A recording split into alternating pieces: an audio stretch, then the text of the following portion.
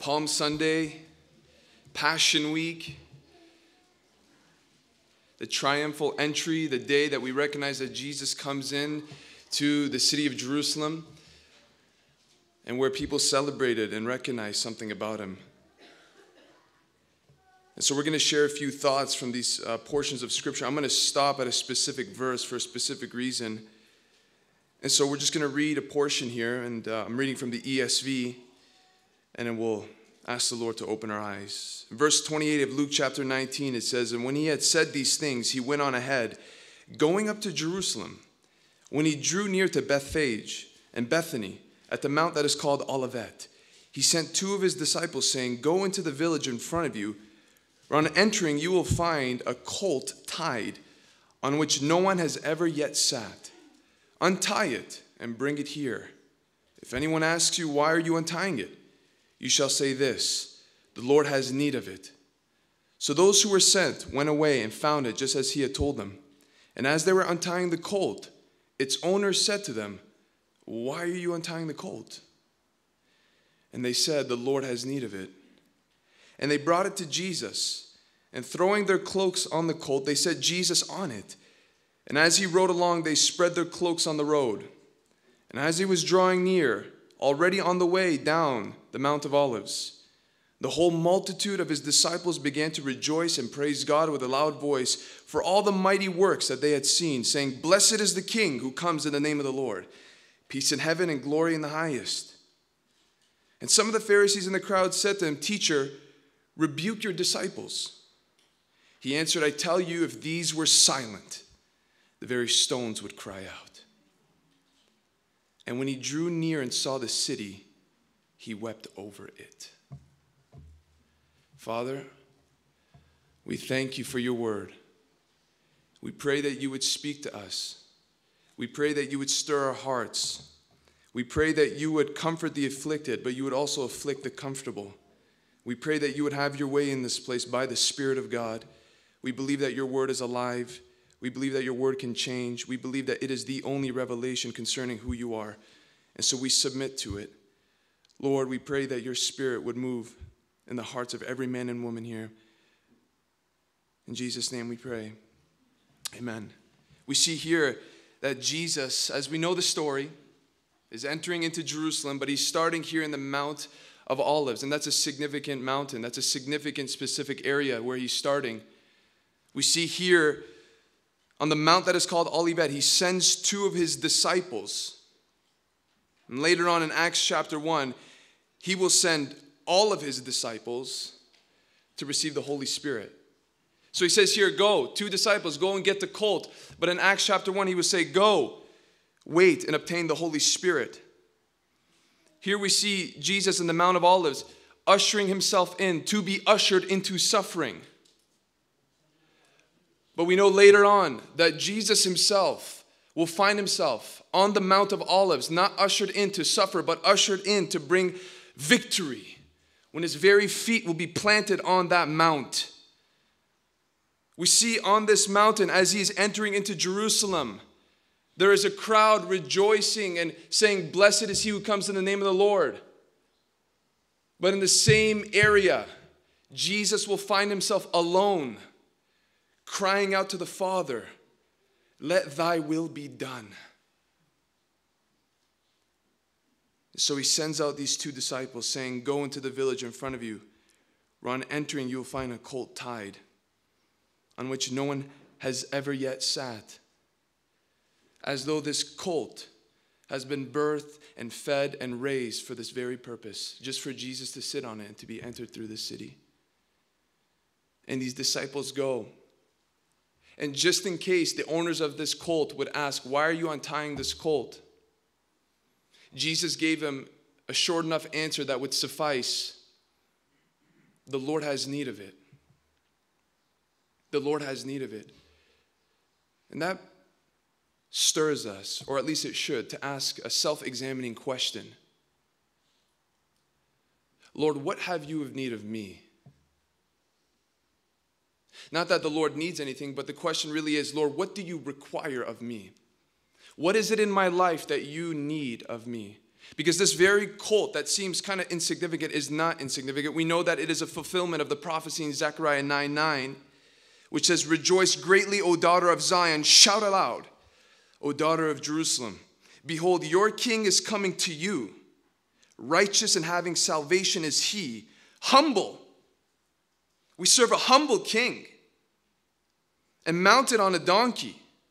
When a king comes into a city on a donkey, it's to symbolize peace.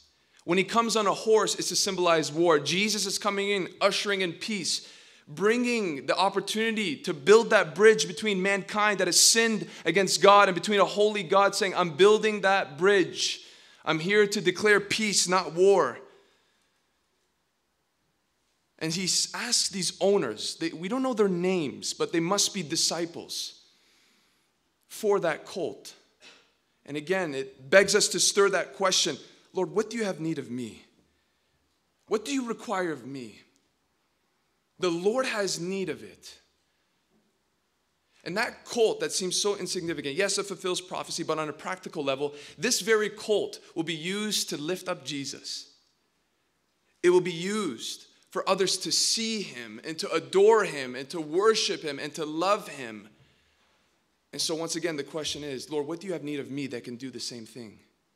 What do you have need of me in my life that can lift you up? And so other people can see you and worship you and exalt you. And you think that your life is insignificant.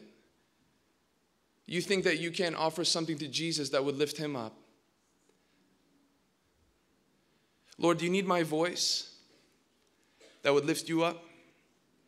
Do you need these hands that would glorify you? Do you need my artistic abilities so that people, when they see it, they see you? Do you need my time? Do you need my money? Lord, what do you have need of me? And what's so significant about these owners is we don't know their name. We don't know their name, but Jesus knows their name. And so it adds another layer to us asking God, What do you have need of me? Lord, even if nobody knows my name, I want to exalt you. Even if my name is not recorded in books or in the history books or known as one of the greatest Christian evangelists or Christian this or Christian that or Christian books, if nobody knows my name, Lord, as long as I contribute to the fact that you're high and lifted up, I'm willing to do it. And so, Lord, what have you need of me? And you think that you have nothing to offer the Lord. We think that sometimes because we don't have a special gift, or we're not standing behind a pulpit or a microphone when the Lord can use a donkey for his glory. Lord, what have you need of me? And so the disciples come up to these owners. They say, Hey, why are you taking this colt away? And all they needed to hear was, The Lord has need of it. They, need, they didn't need any other argument. If the Lord needs it, let him have it. If it's for his glory, let it be. Know my name? I don't care. Let him be exalted and lifted high. And so that's what happens. They were sent in verse 32 away and found it just as he had told them. Its owner said in verse 33, Why are you untying the colt? And they said, The Lord has need of it. And they brought it to Jesus, and throwing their cloaks on the colt, they set Jesus on it. And as he rode along, they spread their cloaks on the road. We know in Matthew's gospel and in John's gospel that they actually took palm branches, laid them on the road. And this is symbolic of almost rolling out the red carpet. We see it in Second Kings with King Jehu. When he comes into the city, they lay down their garments and they said, Jehu is king. And so they're doing the very same thing here with Jesus. They're laying the garments down, they're laying the palm branches down, and they're saying, Jesus is king. And it's saying here in verse 37 as he was drawing near already on the way down the Mount of Olives, the whole multitude, we're talking a lot of people here. I'm not talking about 20, 50, we're talking hundreds the whole multitude of his disciples, of his disciples, notice, began to rejoice and praise God with a loud voice for all the mighty works that they had seen. Everything that they have seen up to this point, they recognize something about Jesus. The multiplying of the bread, casting out devils, healing the sick, opening blind eyes, opening deaf ears, walking on water, all these different things. They recognize that there's something different. They are laying out their garments, they are laying out palm branches, they are rejoicing Him, and rightfully so. And they were celebrating him, anticipating that this could be the Messiah that has been prophesied about, anticipating that he might be the very deliverer that might deliver them from Rome. deliver them from their oppression, and they're celebrating him in this way. And here's the truth we will celebrate in the same way one day. But here's the difference we will not be anticipating that Jesus is our deliverer on a political level. We will have full knowledge that Jesus is the deliverer of our souls. This picture is an echo in Revelations chapter 7. Revelations chapter 7, when we're standing in glory, in case you forgot that there's eternity.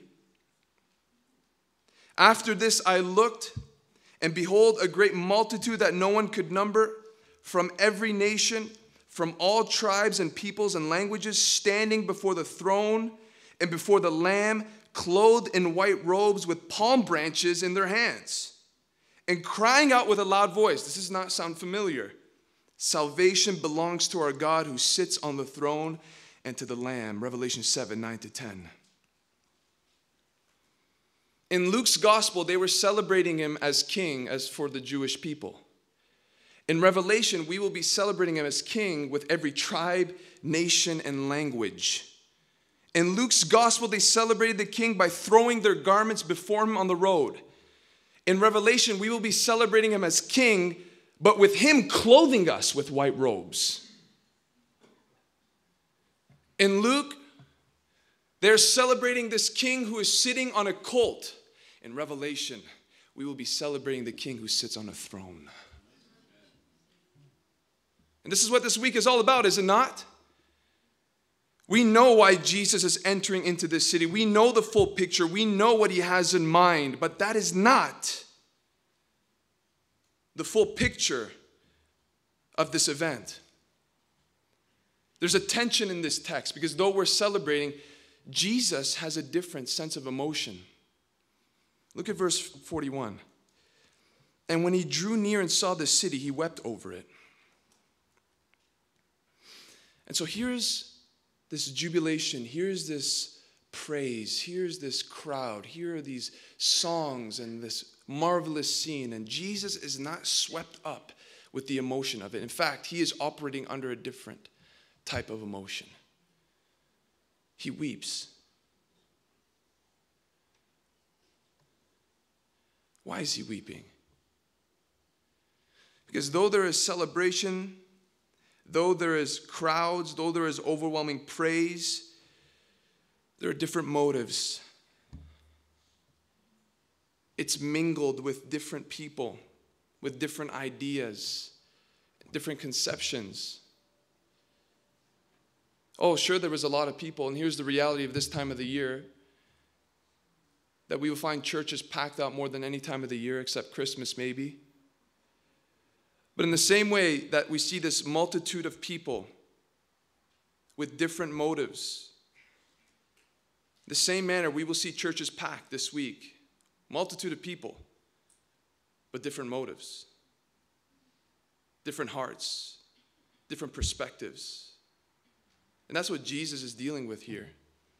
Sure, there's a crowd. Sure, there's songs. Sure, there's celebration.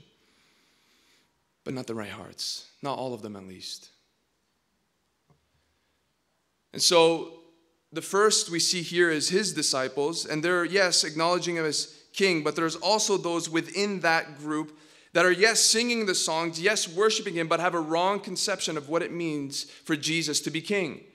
They see it on a political level. They see Him as coming to deliver the people of Israel alone and the nation from oppression and the Roman Empire. That's how they see Him.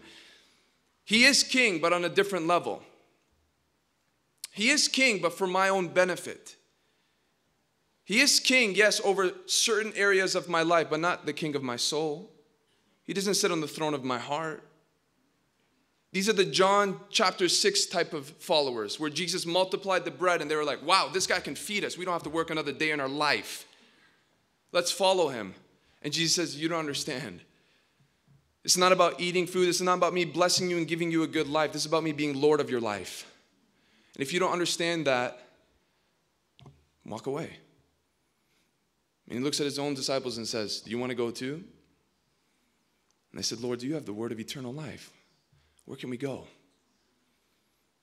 And in the same manner, my friends, brothers and sisters, There will be people that will be swarming in, maybe even today, and Friday and Sunday that will be coming in that have a different perspective of how Jesus is really king. They don't see him as king of their lives, king of certain areas of their lives. They, they want to see Jesus fulfill certain things about them, but not be Lord of their life. And they'll be sing, singing the songs, they'll be waving the palm branches, but in reality, their life does not line up with their confession. And so there are those in there that are celebrating Jesus, but Jesus knows what's inside of man. And he's not fooled by the singing, he's not fooled by the celebration, he's not fooled by the hoopla. And so there are those, yes, who would acknowledge Jesus as king, but not the right understanding of how he's king. But then there's others in this crowd. In verse 39, and some of the Pharisees in the crowd. There were Pharisees in the crowd. These were the religious elite of the day. And they told Jesus, Rebuke your disciples. How can they be calling you the Messiah? They understood that they were fulfilling Psalms 118. They were singing those Psalms, that they were fulfilling Zechariah 9 9. What are you doing? And so we even have another blend, another mingling in this kind of crowd on this festive moment the self righteous, those who upheld traditions above the Word of God, those who have a form of godliness but denying the power thereof,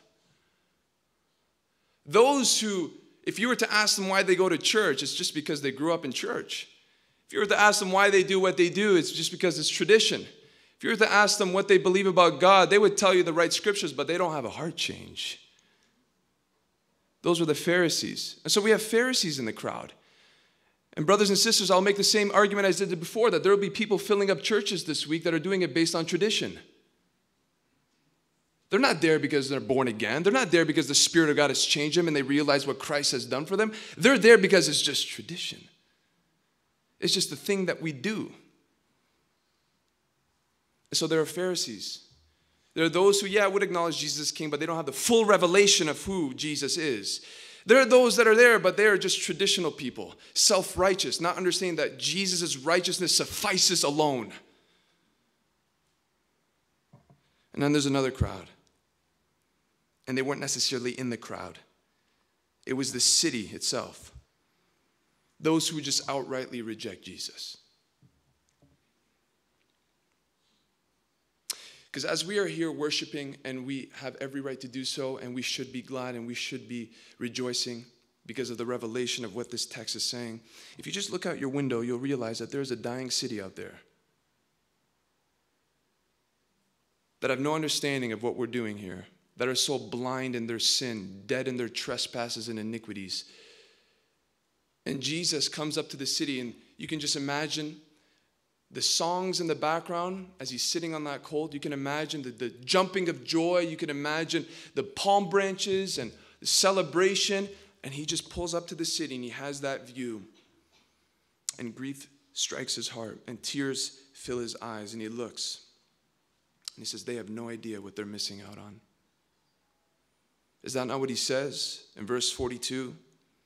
Would that even you had known on this day the things that make for peace but now they are hidden from your eyes. And so, in the same argument of those who will come that have a general understanding of how Jesus is king, and those who come, like the Pharisees, they're traditional, they have tradition, they have knowledge, but not the reality of being born of the Spirit. There will also be those that will come in for the very first time that are blind that have no knowledge of who Jesus is, that have blasphemed his name, rejected him, have no interest, that are dead in the spirit. And Christ weeps over them. He weeps over them. And so there's this tension in this text. Though there's celebration, there's also brokenness that we should feel as people of God. And we have to realize that this is a very specific and special week and I say this specific thing about weeping, seeing Jesus weeping, because we should be encouraged between now and Friday and now and Sunday to get before God on our knees and ask God for those that are coming in, whether it's this church or any other church, that their eyes would be open and that they would see Jesus for who he is. But enough looking out there, we kind of have to look inside too, because we can look out there and not examine ourselves. Which one are you? Which one are you this morning? Are you the one that is rejoicing? Are you one of his disciples that understand what Jesus is doing? Are you the one that kind of has an understanding of who Jesus is? You, you see him as king, but not king of everything, just certain areas of your life. You love him because he blesses you and he leads you and he gives you stuff, but it's not about him being Lord over your life. Or are you just the Pharisee, the, the traditional one? I mean, just ask yourself right now why am I here this morning? What am I celebrating this morning? Am I just on am I just on auto and just I'm going? I'm on cruise control, I'm just going. You can know the Bible all you want, but if you're not walking in the full revelation of what Jesus has done for you, that's dangerous. Or are you the one who's not even understanding what's happening at all? You're outside of the crowd, but you just found yourself here. And you're blind. You don't understand who Jesus is, what he's done for you. You don't understand what this whole celebration is all about. Here's the reality Jesus was being ushered in, not to overthrow an earthly kingdom, but to die. Jesus, as said earlier, as we recognize this day, is coming to redeem not just a specific people group, but the entire human race. And Jesus wants to do the very same thing for your soul. He wants to save you, He wants to change you.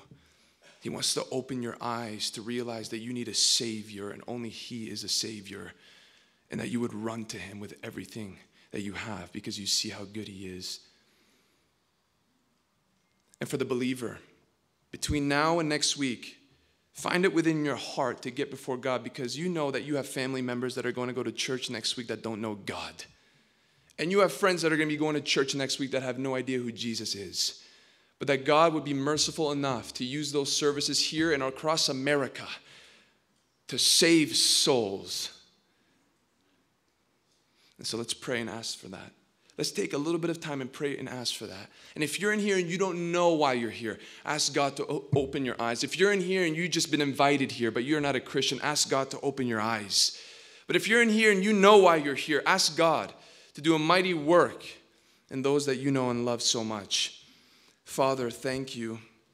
We take the time to meditate right now because there are names that are popping into our heads and we want to dedicate them to you. So, just in a moment of silence, there's nothing wrong with silence in church. In fact, it's good. But just in your own heart right now, would you just utter under your breath and pray for those that you know? Maybe those that you don't know because America needs revival and ask God to open people's eyes in this next week.